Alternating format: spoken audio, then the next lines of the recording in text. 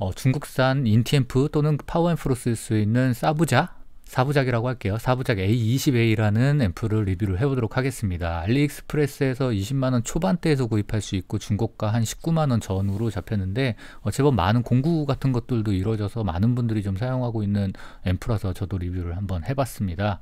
일단 뭐 가격적인 메리트가 크고 어, 크기도 작고 어, 디자인도 괜찮은 그런 앰프인데 소리가 어떨 것인가 저의 소리에 대한 판단은 어, 상당히 괜찮다 라는 얘기를 드리고 세부적인 부분 진행해 보도록 하겠습니다. 8옴 기준 90W 앰프입니다.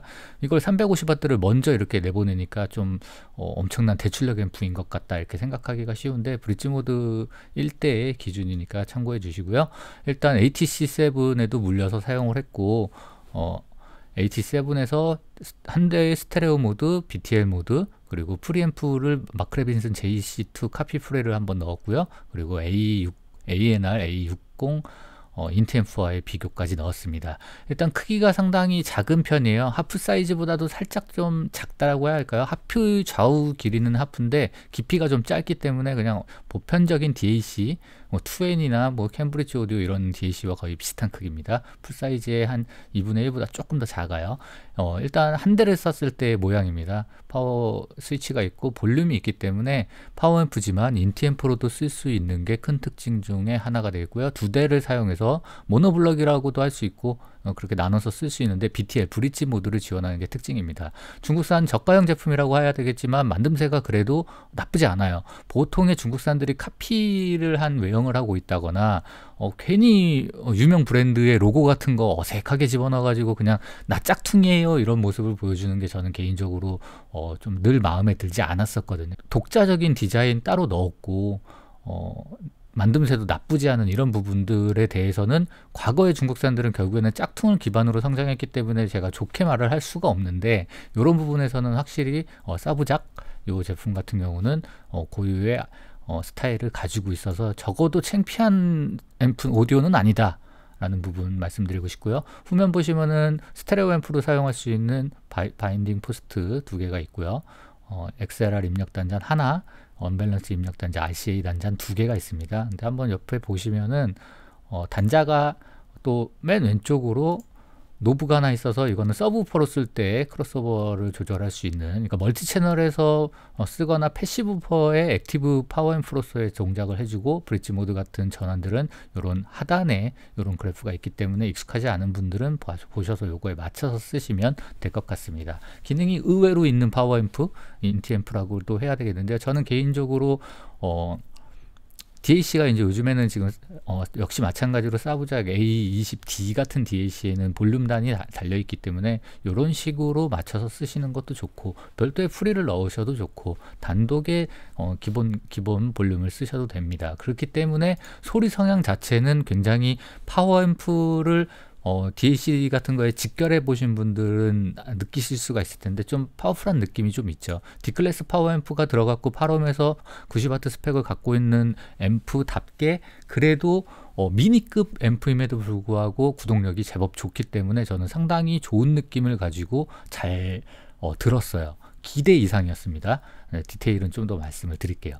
그래서 어, 이렇게 단독으로 해서 사용을 할 수도 있고 DAC가 없는 분들은 어, 마찬가지로 깔맞춤 이런 느낌으로 어, SABAJ A20D와 함께 같이 쓰시게 되면은 어, 공통된 디자인과 크기를 통해서 어, 쓰실 수 있고 어, 좀 더 여유 되시는 분들 좀 더 파워풀한 구동력이 필요하시다라고 생각하시는 분들은 BTL 모드 쓰시면 더 좋습니다. 당연히 BTL 모드로 모노모노 동작을 시켰을 때가 조금 더 소리가 좋은 것 같아요. 근데 BTL 모드라는 게 무조건 등만 있는 건 아니거든요. 힘이 확실히 좀 붙는 데 결과적으로는 그것이 약간 경질, 약 약간 과한 느낌이 들기가 십상인 방식이거든요. 근데 이 사부작 A20A에서의 BTL 모드는 어, 힘이 어느 정도 붙는다는 게 아주 크게 체감되진 않고 살짝 붙는 정도의 느낌이면서 어, 그 과해지는 부분이 크게 저는 어, 느껴지지가 않아서 오히려 더 좋은 평가를 하고 싶습니다. 하지만 두 배의 비용을 지불해야 된다는 점에서 어, 스테레오 모드에서 상위 기종인 A30과도 한번 어, 생각을 해보시면 좋을 것 같은데 저는 어, 그냥 한 대로 쓰는 거를 조금 더 추천드리고 싶어요. 이게 붙이면 붙일수록 결국엔 파워앰프 두 개 쓰잖아요. 그러면 가격이 두 배가 되는데 어, 두 배만큼 좋아지냐라고 하면은 그래서 고개를 약간 가우뚱거리는 본격적인 아주 구동이 어렵고 넓은 공간에서라면 당연히 BTL 모드를 추천드리겠지만 책상 파이라든가 작은 공간에서 쓰시는 분들에게는 저는 굳이 어, 당연히 BTL 모드로 두 대가 좋지만 굳이 가성비를 생각하면 그럴 필요가 없지 않겠는가라고 생각이 들었고요.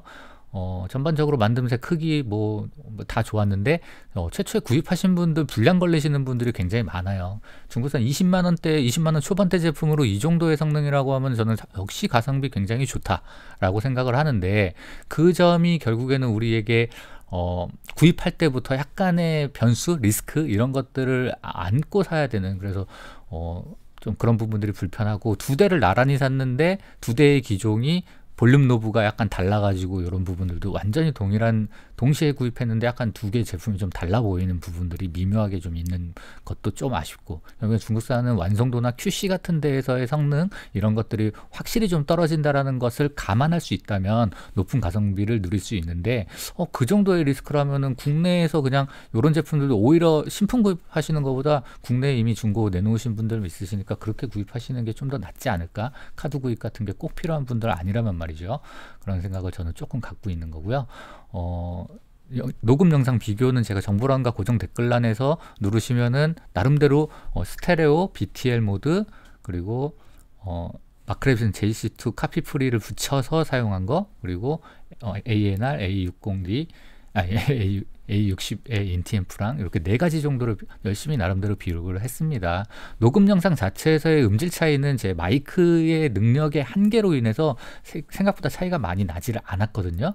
근데 어, 간략하게 제가 그 느낌을 말로써 좀 전달을 드리면 스테레오 앰프 처음에 딱 걸었을 때 저의 느낌은 오 이거 생각보다 굉장히 좋은데 ATC7이었어요. 구동력이 꼭 필요한 그런 스피커 중에 하나인 어, 북세프 스피커를 물렸음에도 불구하고 어, 확실히 구동력이 생각보다 있네 해서 좋았고 두 번째는 미니급 하프 사이즈 이하의 중국산 저가형 앰프를 쓰게 되면 대체적으로 깔끔한 소리까지는 올라왔어요. 근데 안에 핵심적인 핵이 없는 소리, 그냥 깔끔하고 그냥 많은 소리 깔끔하게 난다까지로 그냥 끝나버리거나 그것도 못하는 앰프들이 상당히 많았다면 사부작 A20A 같은 경우는 핵을 갖고 있다. 라는 점이 상당히 좋았어요. 구동력이 있고 핵을 가지고 있어서 좀, 좀 뭐라 그럴까, 어, 단순한 밋밋한 음을 내는 것을 벗어나서 구동력이 좋은 앰프들이 가지고 있는 기본적인 특징을 잘 갖추고 있다.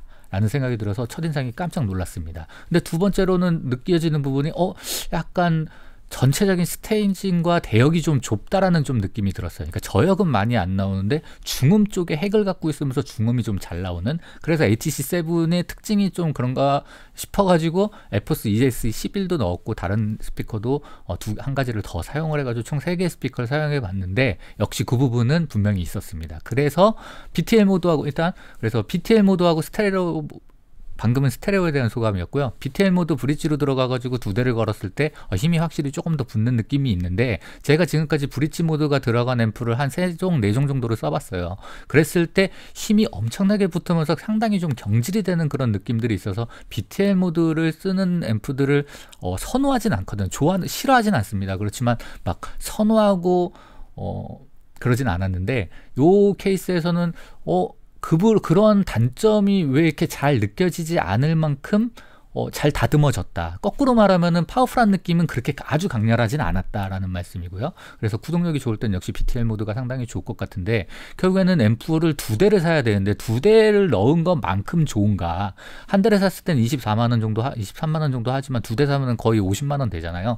그러면 애초에 50만 원의 스테레오 앰프 더 똘똘하게 잘 만든 녀석으로 옮겨 타는 게 좀 더 낫지 않을까라는 생각을 저는 조금 하기 때문에 저는 스테레오 쪽을 좀 더 추천드리지만 구동력 좀 더 필요하시는 분들은 그리고 같은 SABAJ 자체의 디자인이나 이런 어, 앰프를 좋아하는데 여기에서 최대치를 뽑고 싶다라고 하시는 분들은 A20D 두 대로 BTL 하시면 될 것 같고 그렇지 않은 분들은 A30이나 A20A 정도에서 어, 머무르는 것도 저는 충분히 좋다. 결국엔 중국산은 가성비로 써야 된다라고 생각합니다. 올라가서 부해지면 부해질수록 고급 기종들이 위에서 또 경쟁을 하면서 내려다 보고 있잖아요. 신품에서는 그렇지 않을 수 있겠지만 중고에서는 특히나 또 조금 오래돼서 또 인지도 낮은 것들 하고 붙는다라고 하면은 지금 제가 같이 비교한 ANR A60 같은 경우는 브릿지 모드 한 것과 중고 가격이 거의 똑같거든요.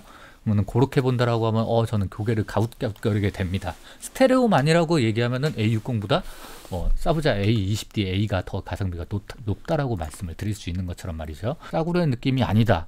라는 느낌에서 굉장히 좋았습니다만 약간 뭉쳐있는 듯한 느낌? 이 부분이 핵이 있다라는 부분으로 굉장히 좋게 느껴졌지만 대역이 대체적으로 좀 좁고 약간 의 미묘한 답답함? 그래서 결국에 순도가 약간 떨어지는 느낌. 이게 그렇게 크진 않아요.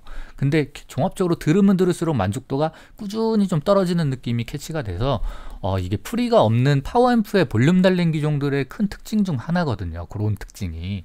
어, 물론 본격 오디오에서의 어, 풀사이즈 쪽에서는 그렇게 단다라고 해도 약간 답답한 느낌 쪽 순도 떨어지는 느낌은 없는데 아무래도 규모의 한계 혹은 어, 이 모드를 좀 여러 개를 달아놓다 보니까 어, 스위치가 거의 4개가 들어가고 볼륨까지 들어있다 보니까 아무래도 거기서 미묘한 수준의 순도 손해는 있을 수밖에 없는 앰프라는 점에서 그거는 저는 개인적으로 충분히 납득하고 이해를 하고 있습니다. 결국에는 음악성이라고 할까요? 편안함 이런 데에서 파워 직결이 좀 가지는 단점들이 있어요. 힘을 얻고 어, 편안함을 좀 잃는 그런 구성이라고 볼 수가 있는데요. 거기에 BTL까지 들어갔으니까 좀 더 그럴 수 있겠죠. 근데 저는 앞으로는 BTL보다는 스테레오 기준으로 좀 말씀을 드릴게요. 그래서 어, 스테레오로 다시 전환을 해가지고 어, 소리를 듣고 어, Mark Levinson JC2 역시 좀 어울리게 중국산으로 그냥 했습니다. 그래서 외형은 지금 많이들 쓰시는 JC2하고 좀 다른 모습이겠지만 저게 조금 더 내부적으로는 JC2 초기형 JC2거든요. 저 나쁘지 않아요. 저것도 소리는 확실히 좋, 좋다라고 생각합니다. 메리트가 좀 없어서 그렇죠. 아무튼 그래서 저 프리를 물려가지고 어, 스테레오 모드에서 딱 들으니까 약간 더 고역적인 위가 약간 더 트이는 현상이 발생이 되고 힘은 조금 더 떠, 미세하게 떨어지는데 전반적으로 음악적인 뉘앙스가 살짝 더 들어가더라고요. 그래서 short-term에서의 사용이다. 한 30분 듣고 빠진다라고 하면은 아 그냥 A20A 그냥 단독으로 쓰는 것도 충분히 좋겠다라는 생각을 했는데 좀 더 오래 듣는다라고 하면은 JC2 쪽을 손으로 들어줄 수밖에 없는 이거는 본인 스스로도 오디오를 어느 정도 하셨으면은 파워앰프 직결해서 더 오래 썼는지 프리앰프 물렸을 때가 좀 더 좋은지를 감안하시면 요 내용하고 거의 동일하게 어, 맞습니다. 그래서 저는 어, long term에서의 사용이라고 하면은 어, A20D DAC 프리단이 좀 그렇게 우수한 건 아니기 때문에 그런 이쁜 소리가 좀 아쉬운 분들은 저가형 프리 중에서 조금 음악적 뉘앙스를 가진 프리앰프를 추가해버리고 BTL 모드를 확실히 그냥 포기해버려서 한 대로 가져가면은 거, 어, 두 대를 A20A 두 대 쓴 것과 거의 비슷한 금액에서 경쟁을 해볼 수가 있거든요. 그래서 아 나는 확실히 구동력 있고 펀치력 좋고 파워풀한 소리를 거침없이 내주는 소리를 좋아하겠, 좋아한다라고 하면 브릿지 모드로 A20A 두 대를 구입하시는 걸 추천드리고 조금 더 음악적인 뉘앙스까지도 잃지는 않고 가지고서 편안함과 자연스러움, 내추럴함을 조금 더 가져가고 싶다라면 스테레오 모드에 어, 프리앰프를 붙이시는 걸 추천드립니다. 그리고 이 나서 A&R 어, 아캄의 구형 모델이거든요. 굉장히 오래된 앰프지만 나름대로 소리가 Naim 같은 소리가 나면서 끝이 좀 예쁜 어, 부드러운 소리를 내주는 A60 앰프, 인티 앰프하고도 비교를 했는데 어, 그러니까 순서대로예요. 스테레오 모드 어, 브릿지 모드에서는 힘이 좋았고 거기에 풀이 넣었을 때 약간 넓어졌잖아요. A60 같은 경우는 좀 더 넓습니다. 근데 재밌는 건 구동력은 출, 어, ANR도 아주 우수한 앰프라고 볼 수 있지만 없지만 꽤 좋거든요. 근데 저음 같은 경우는 확실히 더 늘어났습니다. A20A가 저역이 좀 더 적었어요. 근데 중역이 좀 많죠. 그래서 봉, 통상적으로 어 똑똑거리는 중저음 쪽은 A20A가 좀더 어, 많았고 A&R A60이라는 어, 별도의 인티앰프, 구형 인티앰프가 어, 저역 쪽에서는 조금 더 잘해줬다. 그리고 고역 쪽에서 트임이 마크 레빈슨 JC2 프리앰프를 넣었던 것보다 또 좀 더 많았다라는 측면에서 어, 핵이 있는 똘망똘망한 파워풀한 소리 쪽에서는 A20A를 손으로 들어주겠지만 A&R A60이 결과적으로는 저는 조금 더 익숙한 소리고 조금 더 내추럴하면서도 뭐 고유의 음악성을 크게 잃지는 않는다는 점에서 아주 미묘한 정도의 작은 차이기는 했습니다만 저는 A60에 조금 더 손을 들어줄 수밖에 없는 저런 류의 앰프를 제가 좀 더 오래 사용을 했기 때문에 좀 그럴 수 있는 부분은 있는 것 같아요. 그리고 어, 사부자 A20A 같은 경우는 제가 오래 써보고 long term 혹은 middle term 정도의 시간을 갖고 리뷰를 하는 게 아니라 short term 뭐 2, 3일 정도 사용해 본 거에 대한 소감을 지금 말씀드리고 있는 거기 때문에 어, 본 제가 지금 말씀드린 건 어디까지나 참고하시라. 다만 브릿지 모드도 가능하고 프리앰프를 넣을 수도 있는 앰프이고 A30이라는 다른 앰프를 선택할 수도 있고 중고로 어느 정도 시간이 된 앰프를 구입 구입해서 사는 것도 있는데 저 같은 원래 홈오디오에 대한 어, 이해가 많고 오래 사용해 본 사람은 어, 굳이 이렇게 책상에서 작은 크기가 꼭 필요한 게 아니라면 본격 앰프 쪽을 조금 더 중고로 추천을 드리고 싶고 그렇지 않고 나는 신품을 사고 싶고 중국산에 대한 편견이 없다면 A20도 굉장히 좋은 그리고 구동이 좀 어려운 스피커 쓰고 싶다, 있다라고 하면은 좀 더 추천을 드리고 싶은 어, 마음이에요. 그리고 파워풀한 류의 소리, 중역대 밀도감 있는 류의 소리를 좋아한다면 좀 추천드리고 싶고 자연스럽고 아름답고 예쁘고 넓고 이런 류의 소리 좋아하신다면 피하셔야 될 것 같고 모니터링용으로도 좀 좋지는 않은 것 같아요. 그런 부분 이해해 주시면 될 것 같습니다. 중국산 F 리뷰를 하면은 호불호가 굉장히 크게 갈리는데 저 또한 영향이 영 없다고는 할 수 없어요. 여전히 쓸 때마다 중국산들은 대부분 결국에는 가성비가 높지만 그걸 5년, 10년 써고 나면 가치가 굉장히 없어진다라는 측면에서 오디오 생활을 오래 하는 관, 관점을 가지신 분들에게는 저는 중국산을 별로 추천드리고 싶지가 않아요. 근데 나는 굳이 오디오를 이렇게 저렇게 써보는 거에 관심이 없고 그냥 깔끔하게 이런 거 하나 사서 간편하게 그냥 택배 오는 거 받아가지고 쓰고 싶다. 불량 나면 나는 뭐 반품하고 이런 것들에 대해서 스트레스 받는 편이 아니다. 라고 하시는 분들 중에서 가성비를 찾는다면 사브자 A20A도 상당히 좋은 것 같고 함께 사용한 A20D 같은 경우는 A20A는 앰프는 가격 가성비가 저는 확실히 있다고 생각하는데 A20D는 가격이 거의 40만 원 정도 되기 때문에 메리트가 크게 있다고 생각하지는 않거든요. 그래서 어, 깔맞춤이 꼭 필요하신 분들은 A20D도 함께 쓰시는 게 좋겠지만 꼭 그렇지 않은 분들은 다른 오히려 사부자하고 매칭을 한다라고 하면 조금 더 아날로그적인 느낌을 가지고 있는 뭐 블라델리우스 DAC, 메르디안 어, 디렉터 어, 또 뭐가 있을까요? 어, 뮤지컬 피델리티 V90 DAC 요 정도가 오히려 어, 밸런스적으로는 생김이 다르기 때문에 안 어울릴 수 있지 모르겠지만 더 작거든 사부자보다 더 작은 DAC들이거든요. 그런 것도 함께 쓰시는 것도 굳이 나쁘진 않겠다. 하지만 지금 말씀드리는 것들은 어, 볼륨이 따로 없기 때문에 어, 프리앰프를 따로 넣으실 때에는 이제 그런 구성도 한번 생각해 보시라는 말씀이고요. 전체적으로 제가 중국산 F들을 쓰면서 항상 느껴지는 단순히 가성비만 높다. 를 넘어서 성능적인 면에서도 특별히 어, 처짐이 없는 오히려 우수한 면들도 곳곳에서 관찰되는 하지만 어, 고가의 제품도 아니고 크기도 큰 최적에서 여유가 있을 수 없는 앰프, 앰프이다 보니까 한계는 분명히 있긴 있었지만 확실히 가성비와 음질적인 뭐 여러 대중적인 분들이 좋아할 수 있을 만한 면모들을 두루 잘 갖추고 있는 앰프라는 점에서 어, 싸고 저렴한 신품 앰프를 찾는 분들에게는 한번 검토해 보셔도 좋겠다라는 생각을 하면서 리뷰 마치도록 하겠습니다. 어, 오늘 성탄절인데 메리 크리스마스입니다. 감사합니다.